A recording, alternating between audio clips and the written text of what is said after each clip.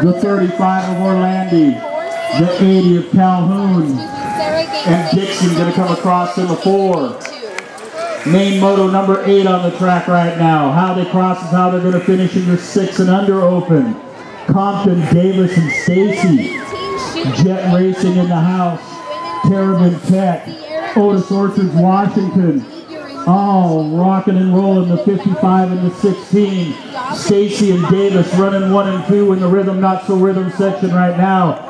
Compton digging hard in that three spot, looking for a two. But it looks like